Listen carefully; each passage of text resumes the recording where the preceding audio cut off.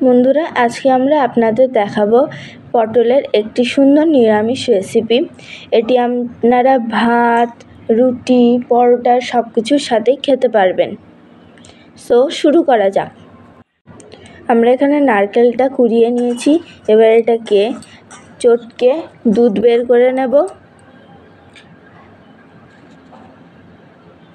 এখানে আমরা নিয়ে নিয়েছি আদা ও জিরে বাটা, ধনে গুঁড়ো, লঙ্কা গুঁড়ো, দারুচিনি, গোলমরিচ, এলাচ এবং চেরা কাঁচা লঙ্কা। নিয়ে নিয়েছি নুন, হলুদ, সর্ষের তেল এবং নারকেলের দুধ।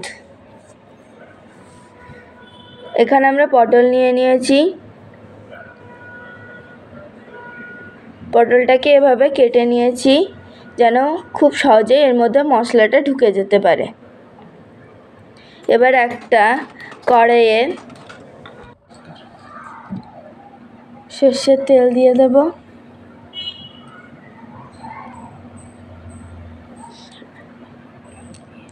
সামান্য নুন, হলুদ দিয়ে পটলটাকে মাখিয়ে নেব।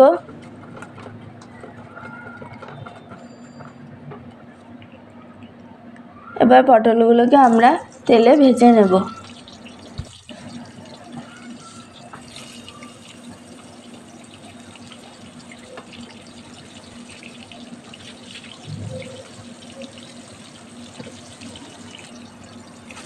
পটলগুলোকে এপিট ওপিট করে ভালো করে ভেজে নেব।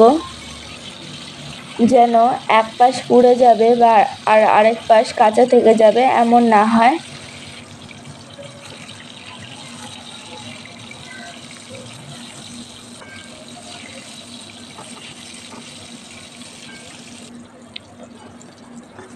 পটলগুলোকে ভালো করে ভেজে নিয়েছি, এবার এগুলোকে তুলে রাখব।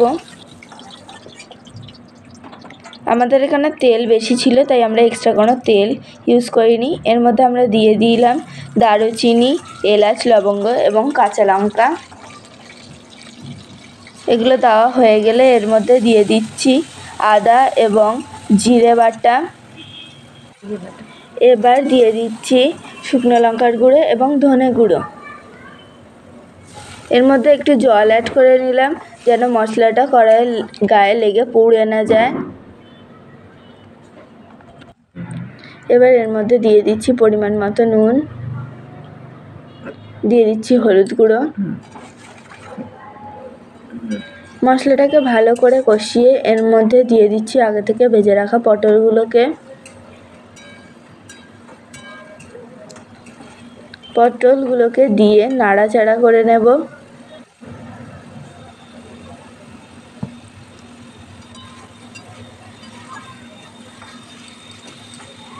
পটল এবং মশলাটাকে ভালো করে কষিয়ে নিয়েছি।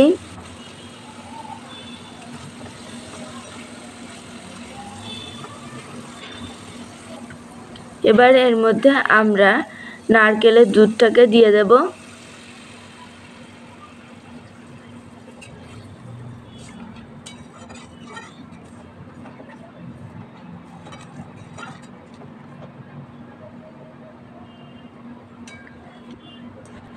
ফুটে উঠেছে।